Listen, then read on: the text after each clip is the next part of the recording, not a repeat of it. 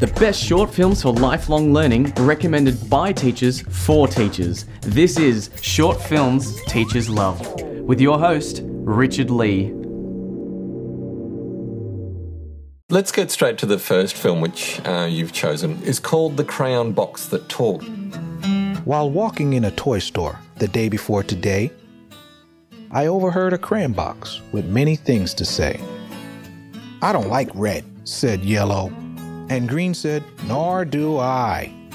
And no one here likes orange, but no one knows just why. We're a box of crayons that doesn't get along, said Blue to all the others. Something here is wrong.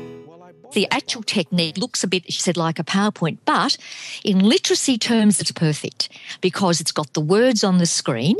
So I find that we can go back and pause on bits of that, and the children can actually read off the screen. It's got that very simple technique that's used nowadays with the hand drawing things that you see in presentations, and it's got a little bit of animation. And of course, the animation looks like crayon animation. So it can't be too simple ever, this kind of film for very young children visually, because they're still learning how to read the media. And a lot of the research I did in the past was about how much they understand.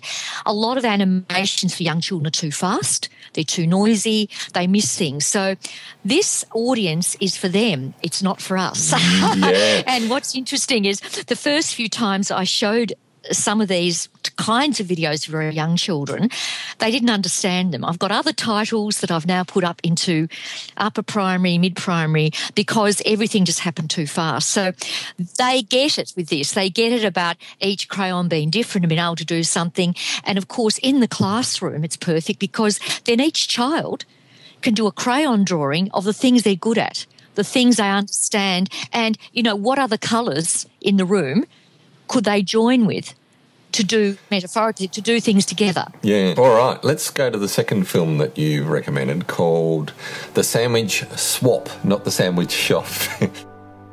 It all began with a peanut butter and jelly sandwich, and it ended with a hummus sandwich. Salma and Lily were best friends at school. They drew pictures together.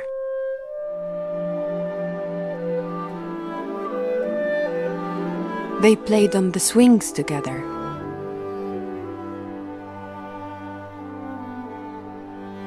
They jumped rope together.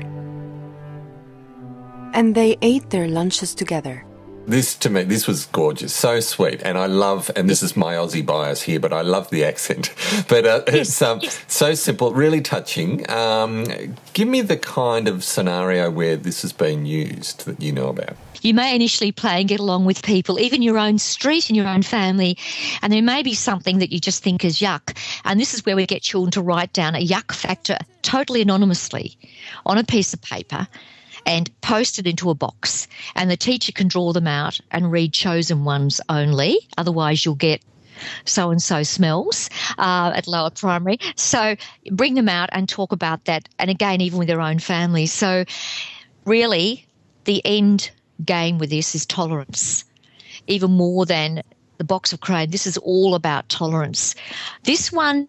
I found myself, I was looking for something that would be good for middle, upper primary going up that was animated and it was about diversity, difference, etc. The quality of the ad- animation is beautiful. And at that level, sort of year three or four right up, again, they could make their own story about that yuck factor or about f- someone they're friends with. And one of the most moving ones we had at a school was a very shy little boy, and his best friend was obese.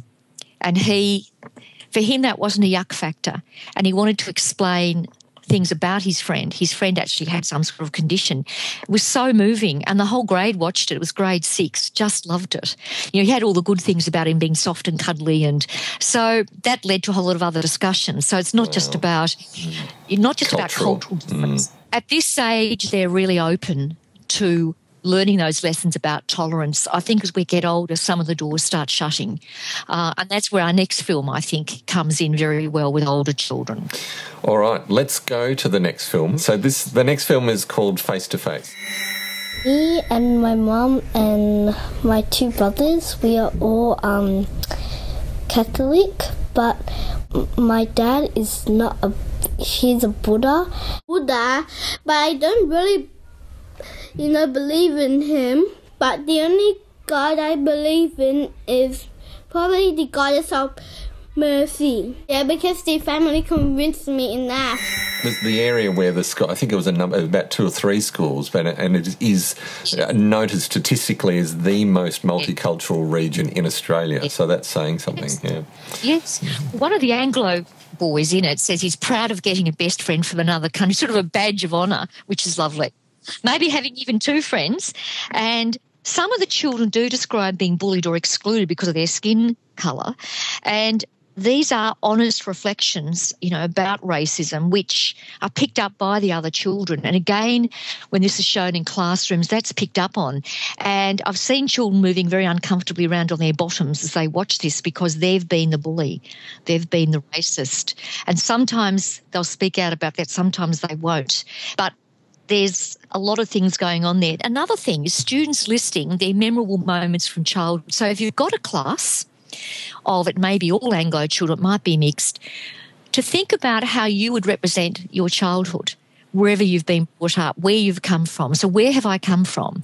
I'm now in this part of Australia, it could be anywhere. Have I always been here? What are the things about living here that construct and define me? That's really important. So, geography, society, culture, your peer group, your parents, everything. So this film is extremely rich. It can be teased out and teased out. And that's one of the reasons why I was very really enjoyed writing the notes about it. And as I said, it's one of the most viewed films by my colleagues. Mm. They love it. Thank you so much for your time and for the wealth of links and resources and ideas that you always bring whenever I talk to you.